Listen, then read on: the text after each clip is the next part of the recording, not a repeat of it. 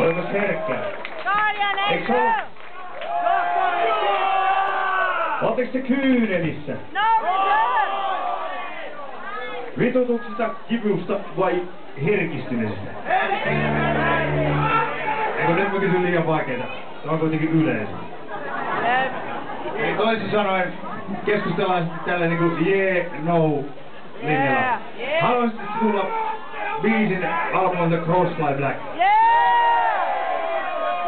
Kävis sellainen outo aavikko kävely, josta ensin päädytään sinne aavikolle, sitten pikkuhiljaa kaksokseen sieltä kuun ja sieltä myöhemmin ulkoavaruuteen, siellä ei ole ilmaa, eikä elämää, eikä sillä ole oikein yhtään mitään. Se on vaan julma maailmankaikkeus. Time before the skies come down.